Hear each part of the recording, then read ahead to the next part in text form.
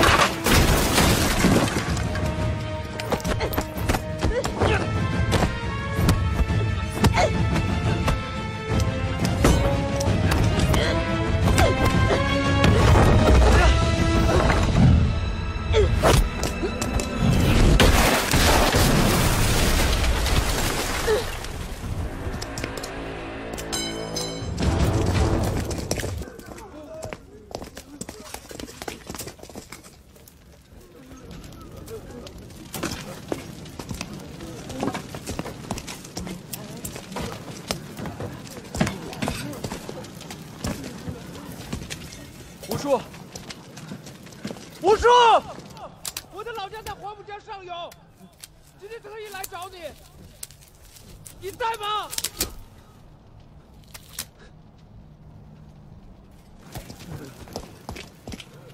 我是学京剧的岑子墨，是樊师傅的徒弟。那天我正好出去买东西，侥幸没死。但是我成了一个孤儿，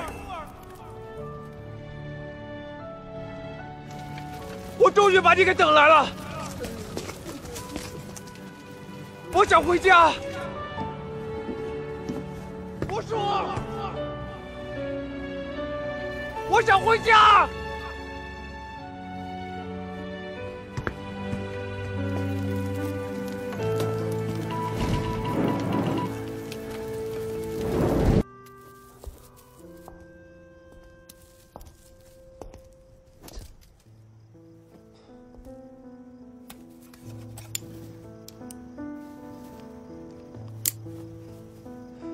从小到大你就喜欢当好人，但是我告诉你，好人没好报。做好人也有错吗？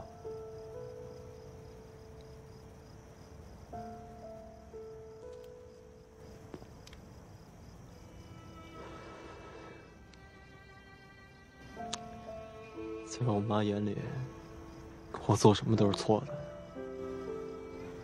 我们从小一起在弄堂里长大，我知道，他只是不想让你，让你像这样活着。我就不明白了，我现在这么活着怎么了？我告诉你，像我们这样的人，在这个世道里面活着只有两条路：要么做坏人，要么做死人。我要死了，我妈谁管？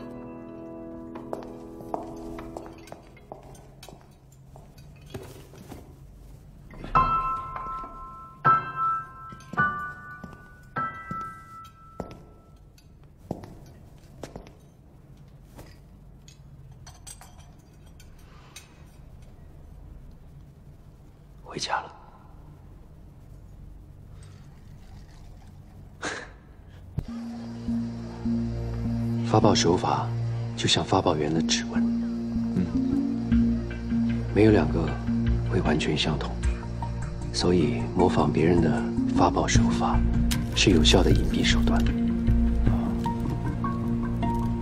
你的手指感觉是难得的天赋，来。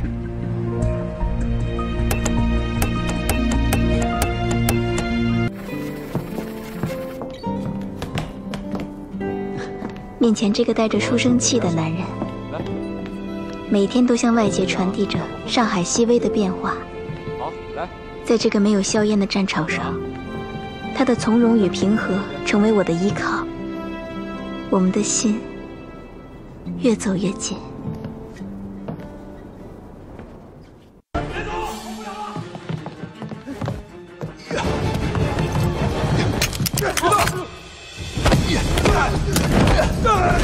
我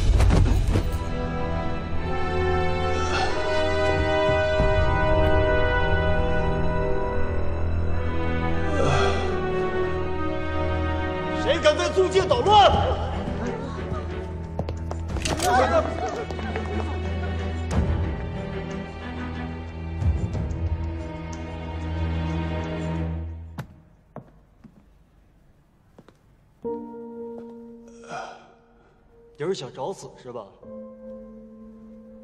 来，起来！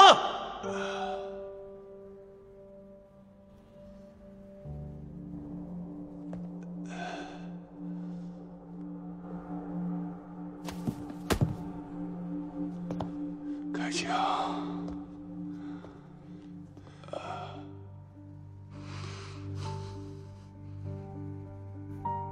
开枪啊！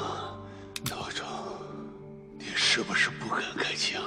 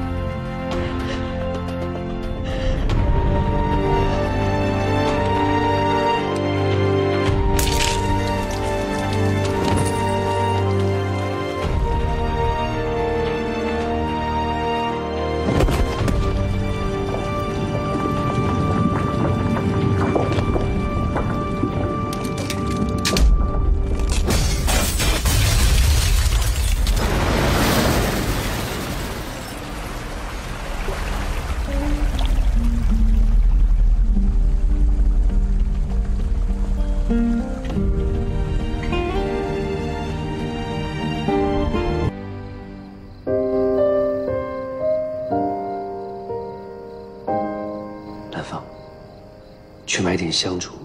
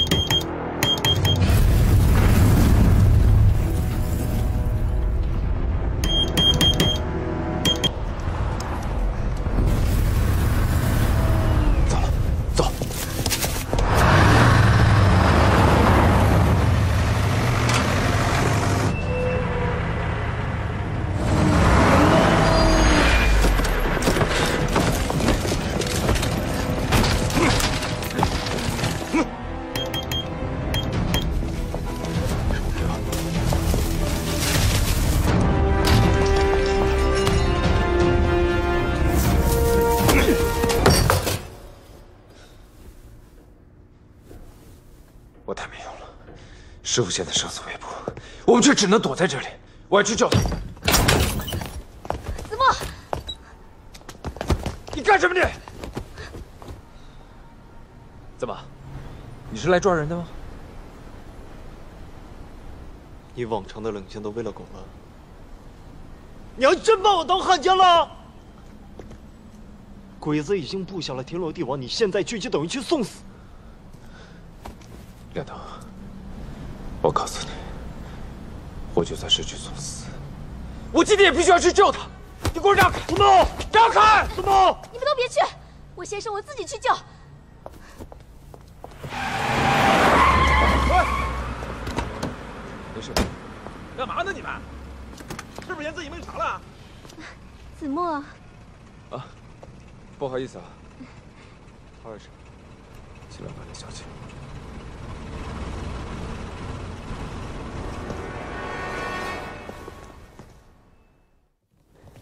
发报手法就像发报员的指纹，没有两个会完全相同，所以模仿别人的发报手法是有效的隐蔽手段。もしもし。はい、わかりました。力ラジオがまだ生きてるって。前より活発になった。人近いだ。絶対にやつだわ。我々の鑑定では臨床の家から出たものはただの受信機とラジオだ発信機などないそんなもので今度我らの時間を無駄にしないでありえん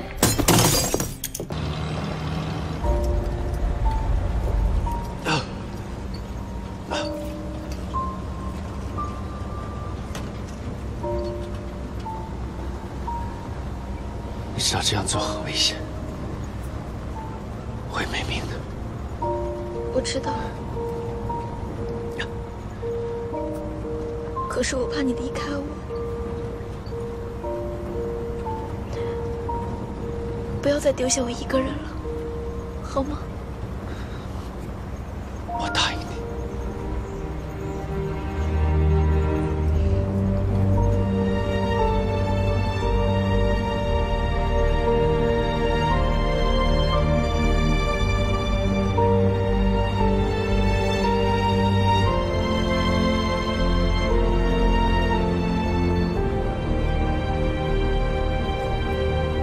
怎么会想到用那些数字？九六零五五四幺四七三幺幺，浏阳河，那就是你，我记得。师傅，师傅，子墨，师傅呢？为什么这么晚？今天任务遇到点情况，来自日本的共产党员惠子，以医疗观察团护士的身份带来重要情报。どうぞこちらへ看看这个，南京伪政府的最高首脑。民国二十四年，汪精卫遇刺中枪，子弹伤了他的中枢神经。后来他去日本求医，报纸上天天说他愈后良好，即将复出。 没想到，他落得如此下场。他是罪有应得。这个消息，我必须立刻向上级汇报。嗯，快点帮忙收拾东西，我们要尽快撤离。上级指示带惠子一起转移。好，还有，为了安全，电台分开埋了。半个小时后，我们一起去接惠子。我知道了。上！你过来。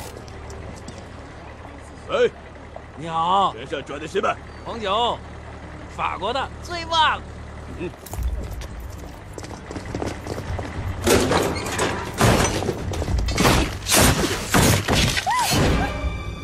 你抓你，一个白子！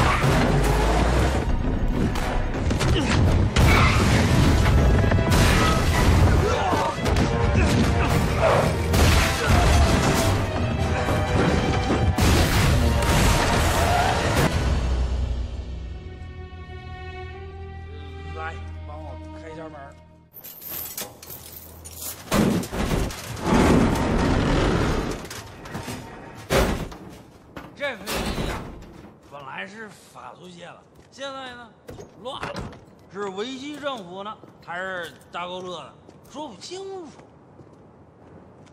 无所谓，我代表法国征用它。这也太破了吧，还能飞得起来吗？飞机多坐一个，三个人能飞吗？三个人可能起飞不了，但看我的技术，没问题。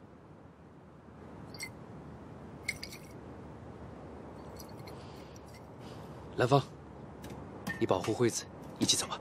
我不走，要死一起死。这是命令。你说过你不会丢下我一个人的。我一定会来找你的，相信我。